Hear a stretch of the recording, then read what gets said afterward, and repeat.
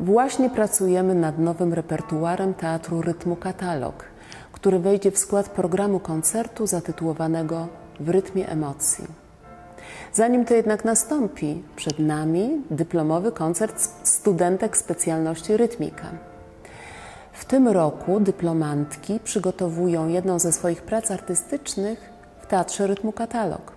Są to bowiem osoby, które mają potrzebę podejmowania działań twórczych wykraczających poza tradycyjnie rozumianą rytmikę dalkrozowską. Nasze działania wywodzą się z dalkrozowskiej plastik anime, czyli interpretacji ruchowej, która stanowi artystyczny sposób ucieleśnienia muzyki wyrażonej w ruchu.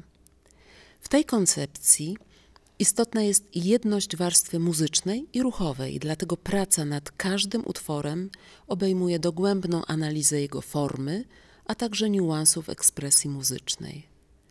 W tym kreatywnym działaniu, które bazuje na improwizacji, niezbędna jest wrażliwość muzyczna, twórcza wyobraźnia oraz umiejętność ekspresji muzyczno-ruchowej. Przesłanie zawarte w teatralnych interpretacjach stanowi dodatkową warstwę kształtującą sens ruchu, w którym wymowa gestu tworzy znaczenie. Główną inspiracją, która skłoniła mnie do podjęcia pracy nad pierwszą częścią sonaty wiolonczelowej Ligetiego był tytuł utworu Dialogo. W duecie, jaki tworzymy, staramy się ukazać burzliwe emocje, które towarzyszą tej rozmowie. Nasz dialog jest próbą odnalezienia w sobie samym tego, co kiedyś było wspólnym celem dwóch osób. Ważnym elementem interpretacji jest scenografia, ukazująca zawiłość i przeszkody, jakie pojawiły się w tej relacji wraz z biegiem czasu.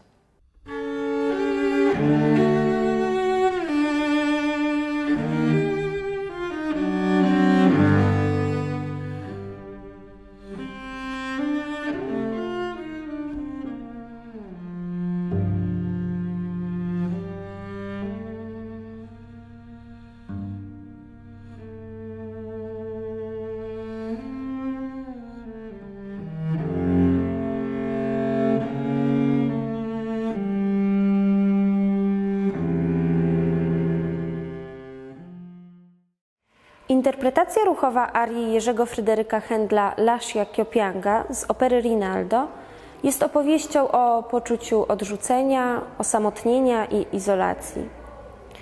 Główne przesłanie tekstu, który dotyczy rozpaczy i utraconej wolności, jest szczególnie istotne w dzisiejszych czasach, kiedy z powodu pandemii kontakty między ludźmi są utrudnione. Pracuję nad znalezieniem takich środków wyrazu, które jak najlepiej oddadzą muzykę i to, co ze sobą niesie.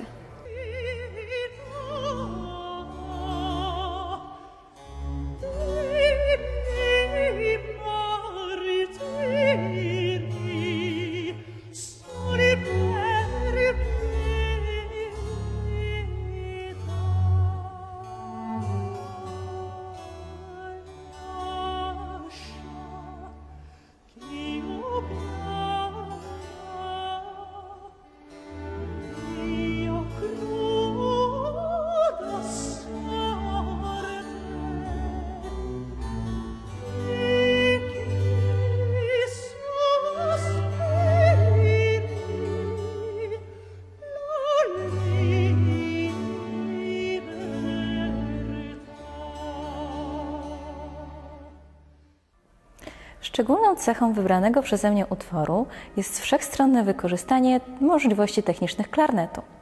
W Eddie Toshio Hosokawy można usłyszeć różnorodne jakości brzmieniowe, które próbuje przełożyć na jakości ruchowe.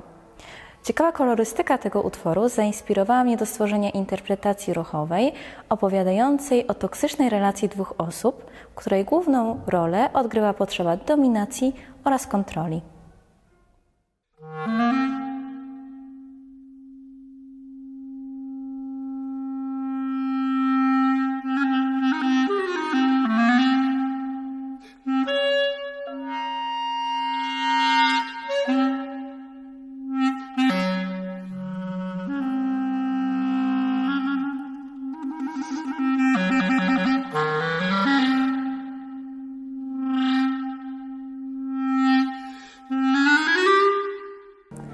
Już teraz zapraszamy Państwa do oglądania tych wydarzeń w mediach społecznościowych. Mamy jednak nadzieję, że w niedługim czasie zaprezentujemy je na żywo.